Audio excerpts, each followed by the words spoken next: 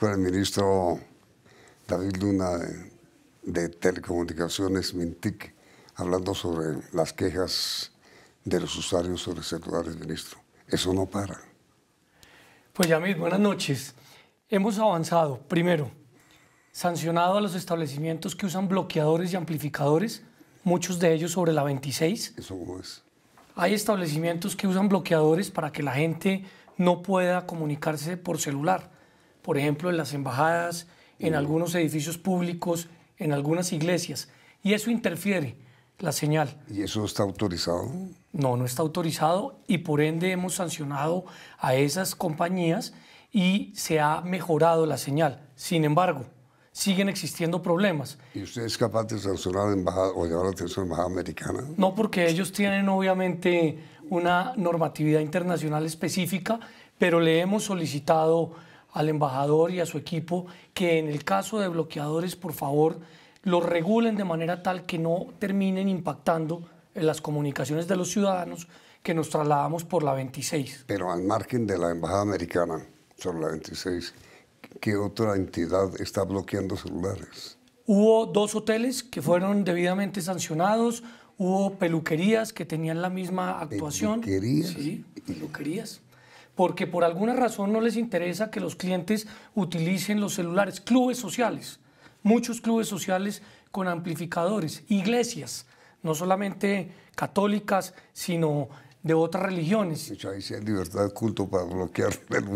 Oye, Pero eso nos está haciendo mucho daño, por eso hemos hecho unos llamados de atención, hemos actuado y adicionalmente estamos instalando infraestructura donde se requiere, en este caso con la autorización de Bogotá, pero en muchas otras ciudades requerimos el apoyo de los alcaldes porque sin antenas no hay comunicación. No, pero, pero perdón, ministro, pero antes de llegar allá, que es otro tema preocupante, el de los, el de los alcaldes, eh, ¿en, ¿en, qué lugares de Bogotá existe ese bloqueo, autorizado o no autorizado?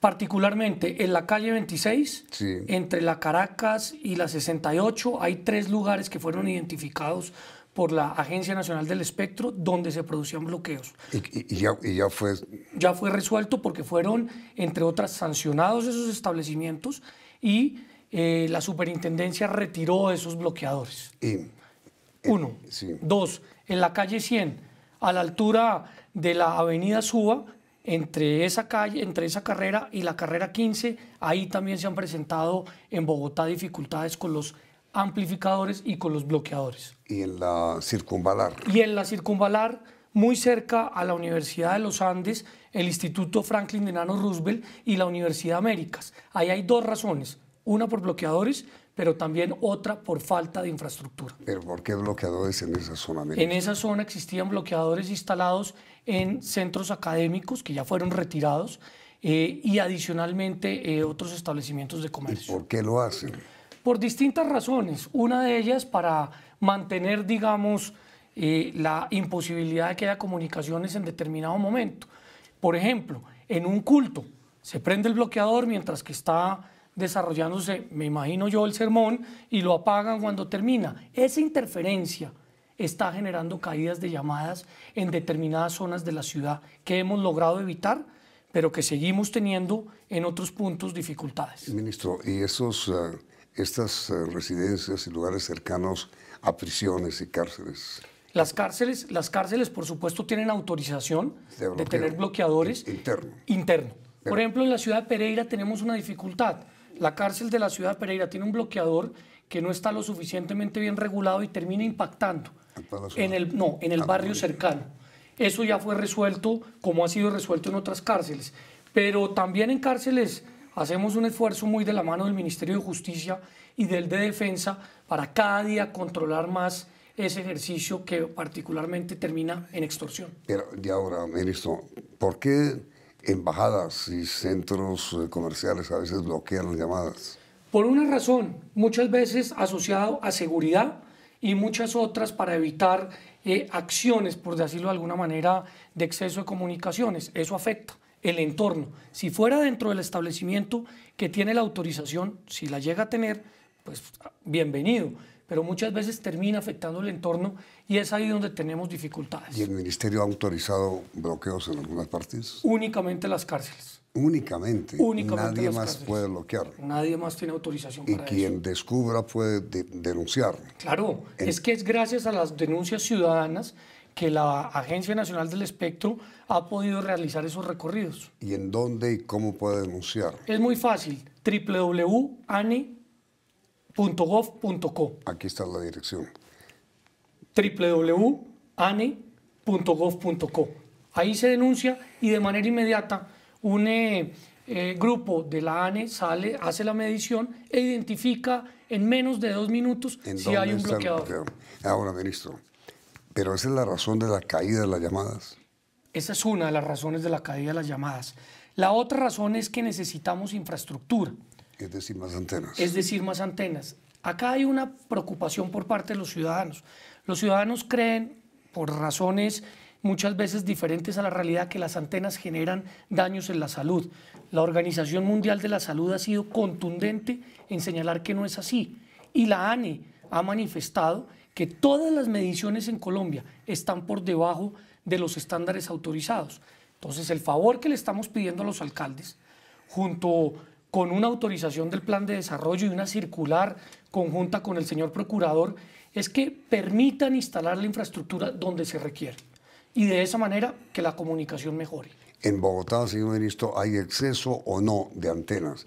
Porque cuando uno vuela sobre la ciudad, la ve cubierta de... Ah, Tenemos dificultades particularmente en la avenida Circunvalar, a la altura de Monserrate, donde necesitamos infraestructura Pero- y ya contamos con la colaboración de la alcaldía. dificultades para instalar más antenas. Sí, señor, porque la normatividad en este caso en particular no permite instalar antenas en esa zona eh, de reserva forestal, motivo por el cual hemos solicitado una autorización expresa. Y Yamid, lanzamos hace unos días una aplicación que se llama Calidad Celular.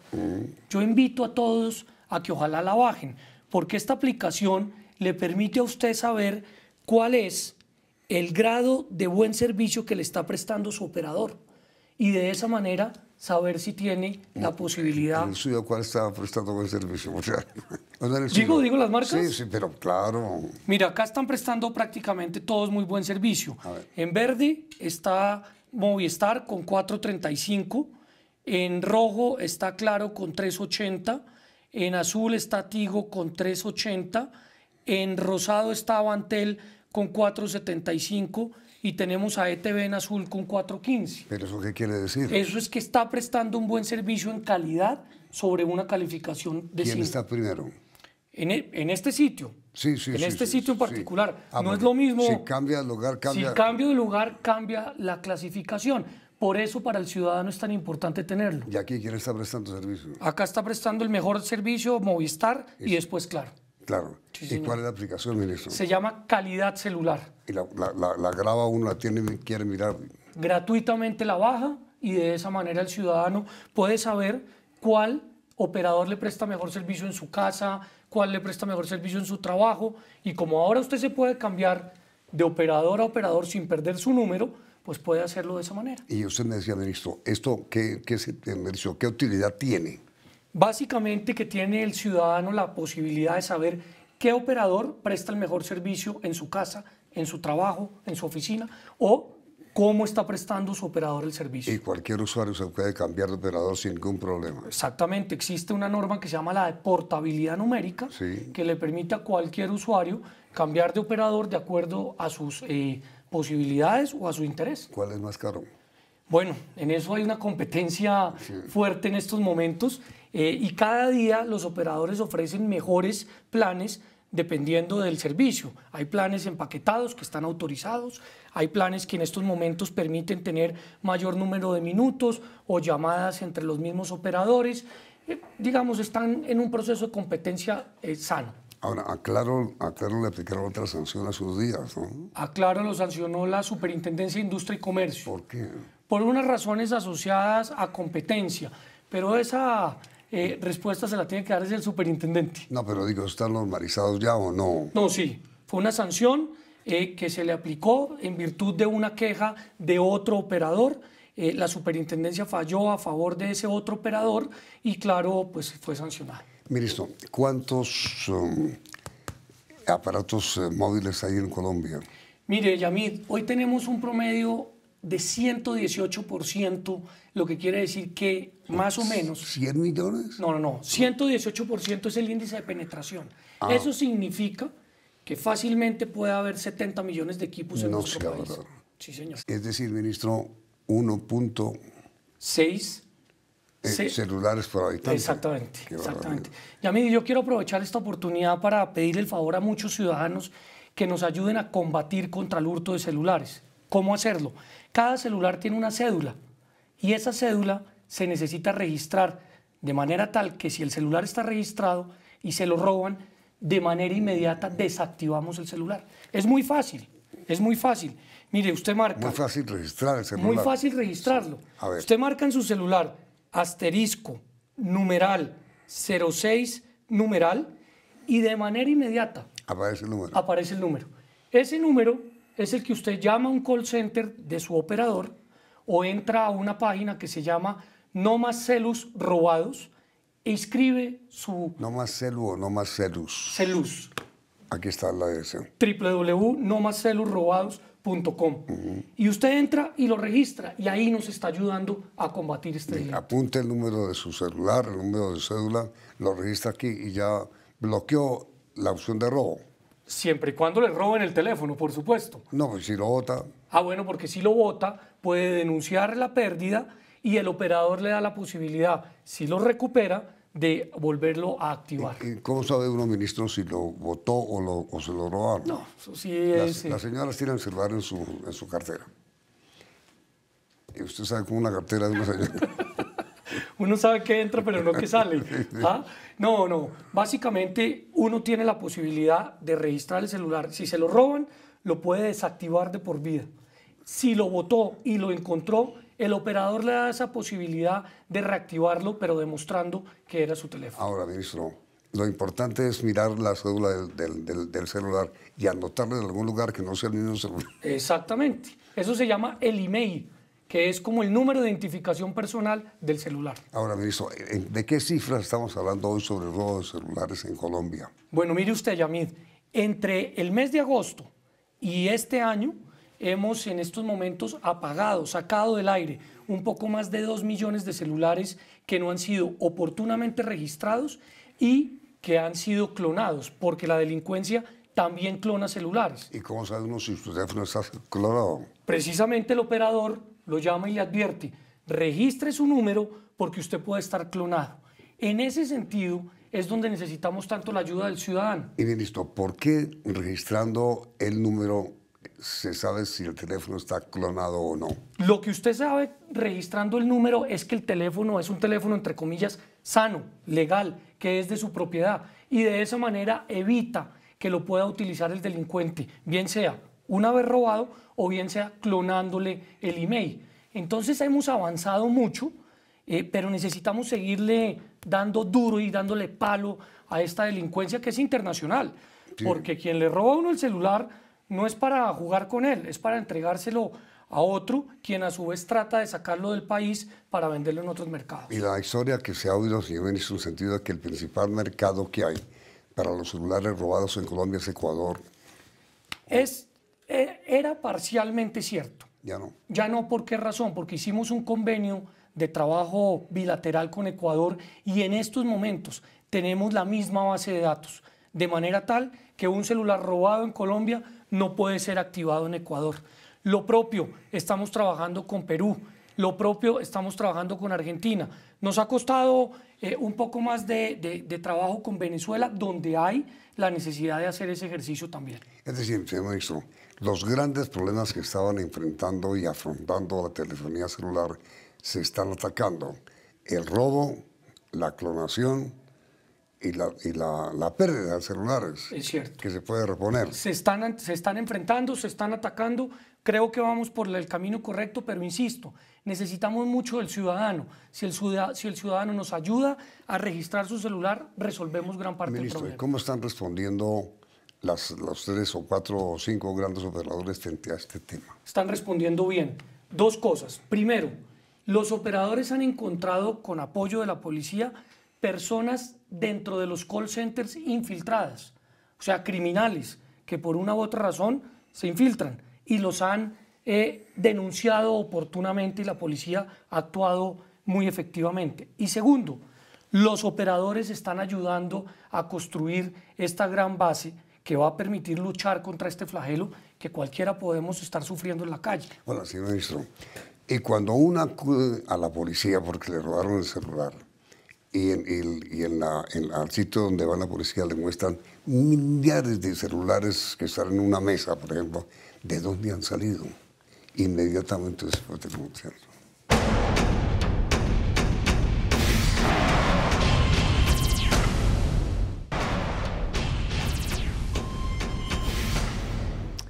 ¿Qué es esa cantidad de teléfonos celulares que le muestran a la policía cuando va a buscar su teléfono robado? Todos esos celulares que están en determinados sitios, muchos son producto de robos. Por eso la policía... O extravío. O extravío. Por eso la policía en días pasados, ahí en la Jiménez, abajo de la Caracas, extinguió el dominio de dos centros comerciales. No se ahorra. Sí, claro. Extinguió el dominio y tomó no solamente todos los teléfonos que se encontraron ahí, porque, porque, porque eran robados o porque eran clonados. Eso es un avance muy grande en materia de seguridad ciudadana que el gobierno nacional ha venido trabajando en este caso con el alcalde de Bogotá. Bueno, ahora, señor ministro, eh, a propósito de alcaldes, ¿qué es lo que pasa con los alcaldes en los municipios? Necesitamos que los alcaldes nos ayuden a permitir instalar infraestructura, antenas. ¿Por qué? Porque una antena lo que genera es comunicación, Yamil. Las antenas no generan cáncer, lo ha dicho la Organización Mundial de la Salud. Y lo que necesitamos es poder tener más cobertura. Si tenemos más cobertura, vamos a tener mejor comunicación. Ministro, y ese cuento de que si uno se pone el celular en el bolsillo, aquí es el el corazón. Bueno, yo me lo pongo ahí, espero que no tenga ningún tipo de, de, de, digamos, de dificultad, pero han salido recientes estudios sobre ese particular y han señalado que no tienen impacto, pero que sí es bueno, por ejemplo, utilizar manos libres, que sí es bueno no tener el celular o dormir con el celular al lado, entre otras para poderse desconectar y compartir con la familia. Y que no es bueno tenerlo al lado de, su mesa de noche. Además. ¿Eso es cierto o no? No, pues esas son tesis que obviamente la Organización Mundial de la Salud ha desvirtuado, pero que yo, por ejemplo, trato de aplicar.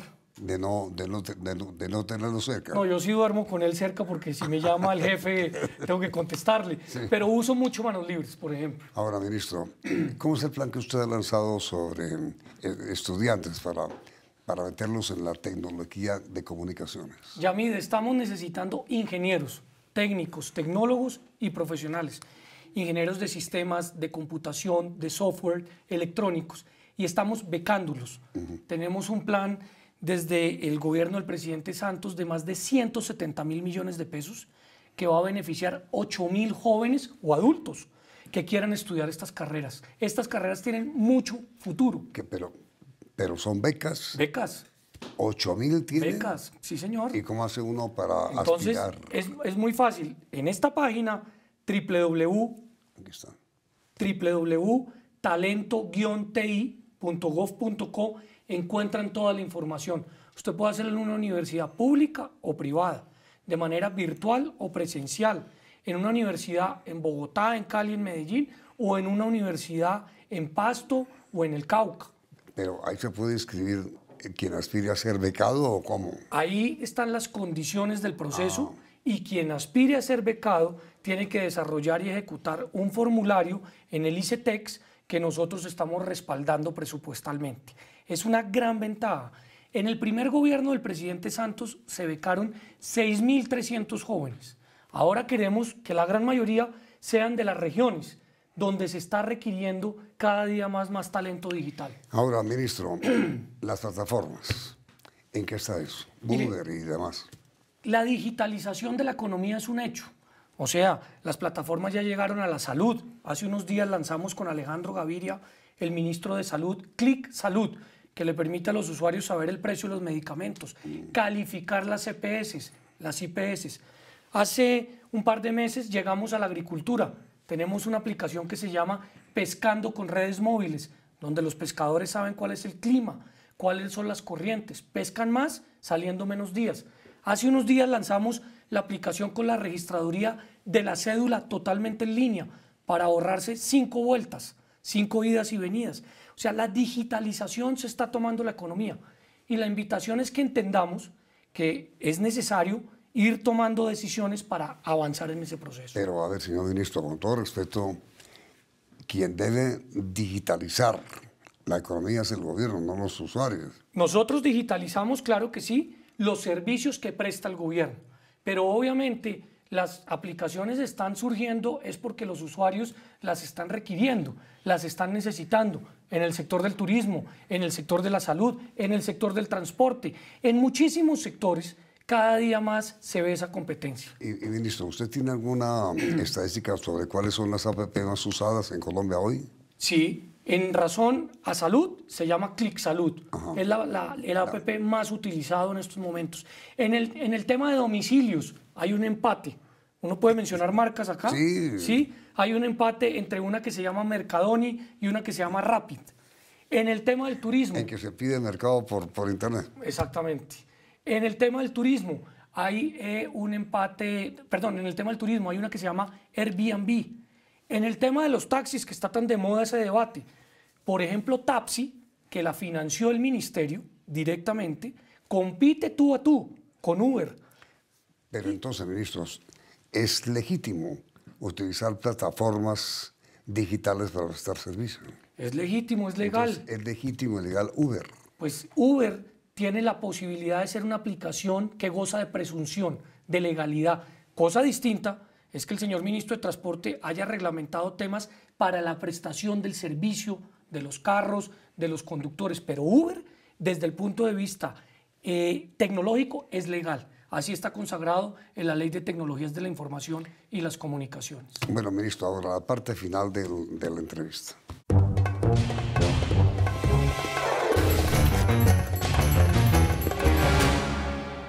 Una palabra y, usted responde con una palabra.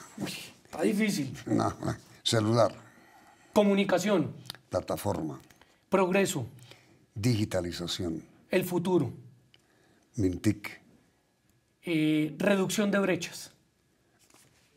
Perdón. No, bueno. Se le perdona esa. Antenas. Eh, acción. Alcaldes. Eh, servidor público. Servicio. Eh, la máxima. David Luna. Gerente. Papá. Julieta, Laura. La última pregunta tiene que ver con que su señor esposo está a punto de traer al planeta Tierra a su primera heredera. Sí, señor. Mil felicitaciones, ministro. Yamil, muchas gracias. Una bendición. Estamos felices en la casa. Esperamos que dentro de un mes podamos traerla. Y la invitación al inicio se hizo porque mañana cumple su primer año al frente del, MINTIC. Sí, señor. Mucha suerte, ministro. Muchas gracias, Yamil. La pregunta para nuestros eh, televidentes. ¿Es bueno, regular o malo el servicio celular que hay en Colombia? ¿Está bien? Está muy bien. ¿Es bueno, regular o malo? no. yo creo que es bueno. ¿Es bueno? Sí. Ustedes responden y el resultado del sondeo saldrá al final de televisión. Vienen las noticias del día en la emisión central del Noticiero CN.